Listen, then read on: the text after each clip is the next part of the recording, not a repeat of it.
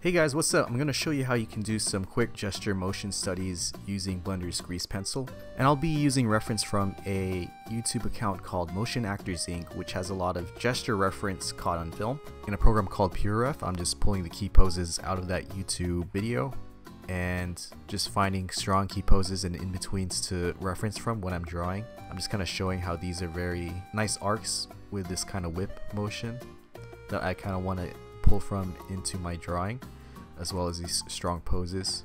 I don't want to overdo the drawing so I'm limiting myself to 15 to 20 key poses and in-betweens that kind of describe the motion that I'm studying.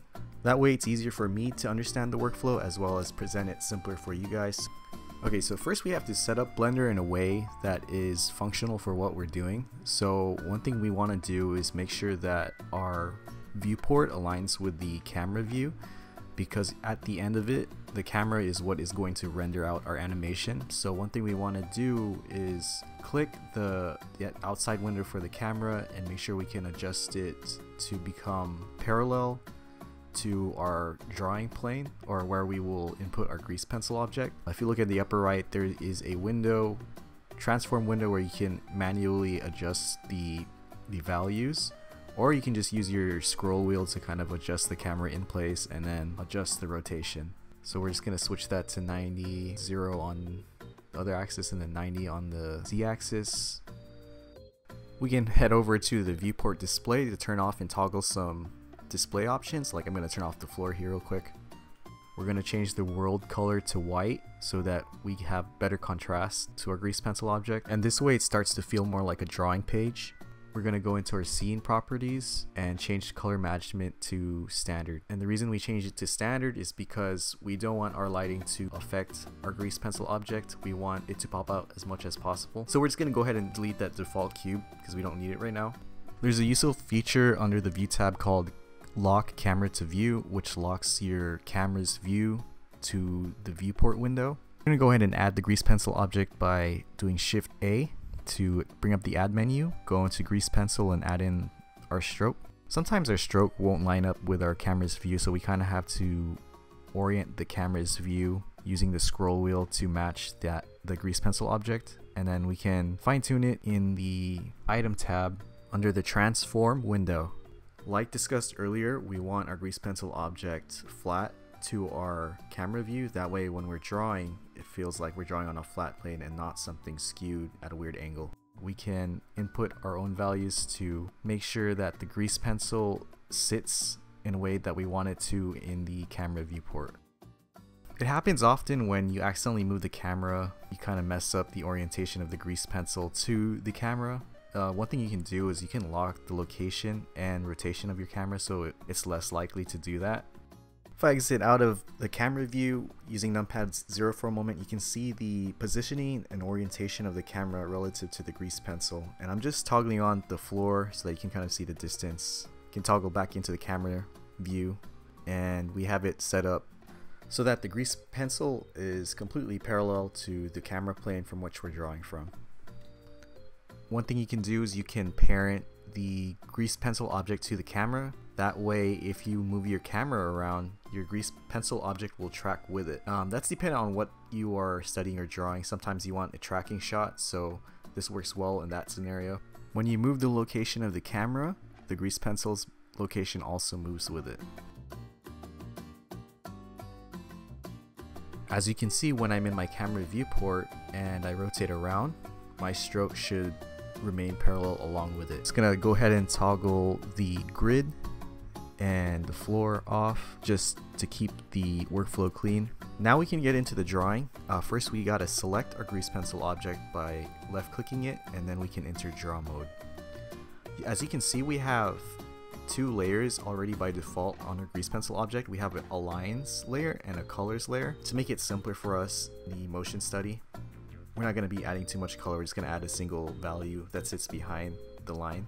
I loaded in some of my custom grease pencil brushes in here. I'm going to use a brush I made called the Ink Pen Better Taper, which basically tapers the default pen a little bit better. And I'll kind of use it in the demo here. I'm going to go ahead and plug my other videos on custom grease pencil brushes. I got uh, about around three of them out right now, so go ahead and check those out if you're interested in that subject. Here I'm just kind of testing the brush, making sure it works and behaves how it's supposed to. One cool thing that you can do is you can set your eraser to stroke and it'll completely erase strokes, which is a time saver when I'm drawing a lot of lines and I just want to delete one right away. Here I'm just checking again, making sure that I can get the size to adjust to how I want it. Here's a cool thing that I just learned recently. You can drag photos or videos right into your window and it will load it into the world space. And I'm just positioning this reference in the world space so that it sits behind where my drawing is and I'll just keep it there for reference. Usually I have a program called PureRef that I use in the background to keep all my references, but for display purposes it's easier for me to just drop in my reference into the world space and just have it in the background. Alright, we're going to go ahead and shift add to add a grease pencil object and add in a stroke just so we can orient the grease pencil plane to our camera correctly. Uh, we're going to just push this reference back in space a bit. Uh, in our timeline you can see our grease pencil has added in the keyframe for our layers and we want to make sure our eraser is on stroke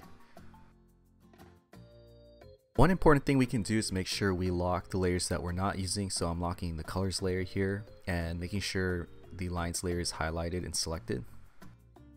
We're going to turn on another useful feature called additive drawing. It allows you to duplicate existing keyframes into the current keyframe that you're drawing on. This in combination with the record button toggled in the timeline allows you to record any drawings that you make in individual keyframes. Alright, so I'm drawing kind of stiff and clean here because I want this first pose to kind of be really good proportionally so I can kind of build off it. But also, uh, I still kind of have to warm up my drawing hands. For some parts of the video, I'm just going to speed it up around 8 times just so that you don't have to sit and watch me erase and draw the same strokes over and over. Uh, and this will help kind of shorten the video length a bit.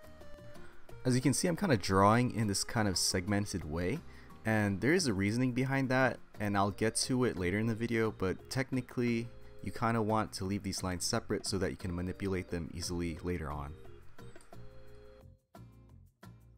Sometimes you want to adjust how far the grease pencil object is to the camera, so one thing you can do is unparent it from the camera and just adjust the camera accordingly. And moving more forward with a scroll wheel or scrolling back to move back.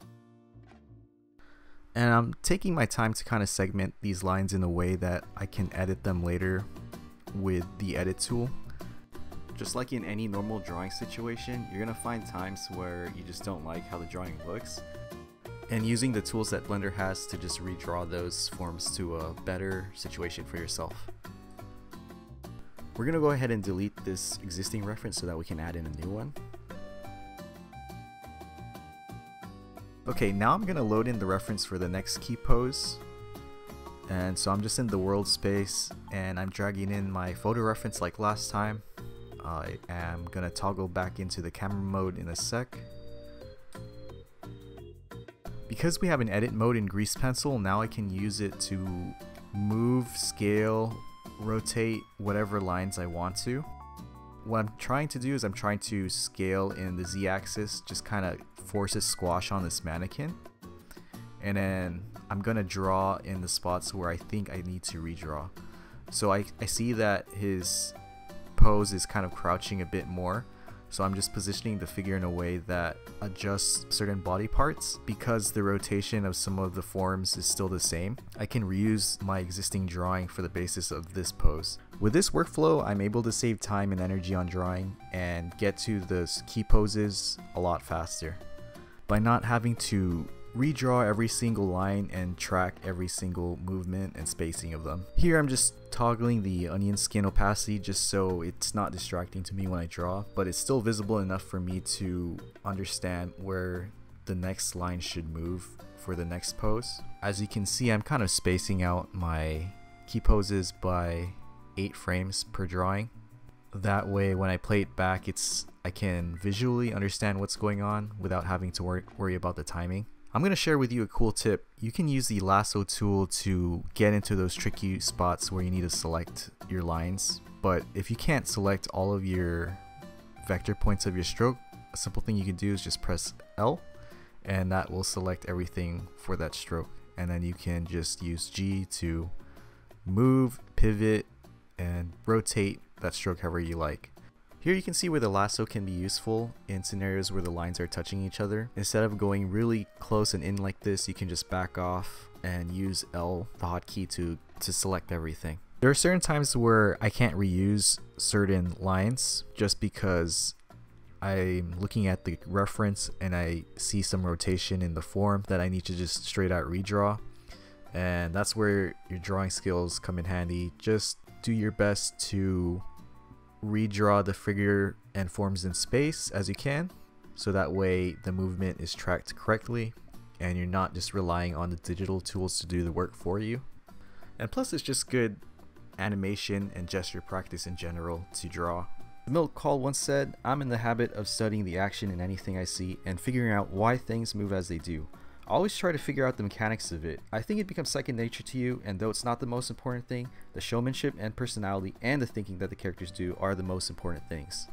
Alright, so we're just going to go ahead and repeat the process of switching out the reference. Uh, we're just going to go ahead and delete that reference from our blend file and then add in the new one. Use numpad 0 to exit out of our camera view real quick.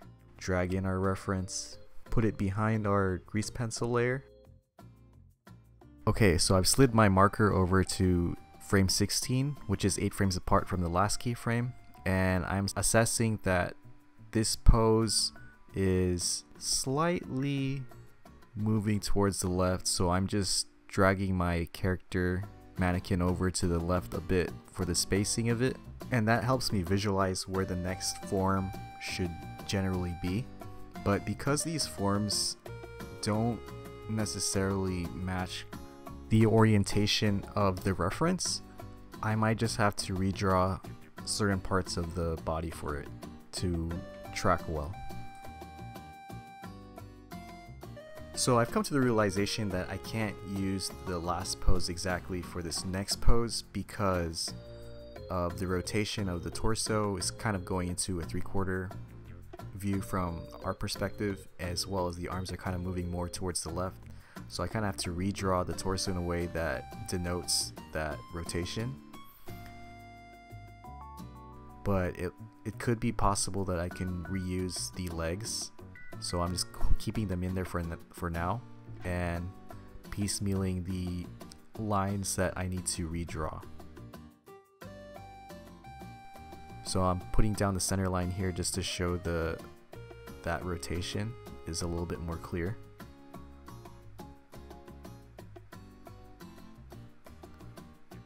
As well as drawing this arm overlapping the the torso.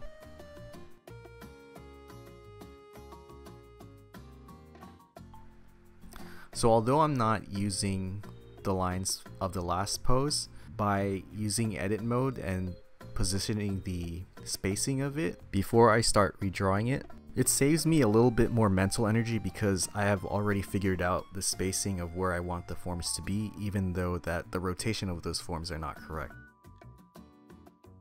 And now we can use this as practice time to draw our forms in space. The biggest thing here I want to do is just hint at movement. So for example, the whip, I'm using strong S and C curves just so that it, it can hint at this kind of movement and snap that the whip has when he pulls it back.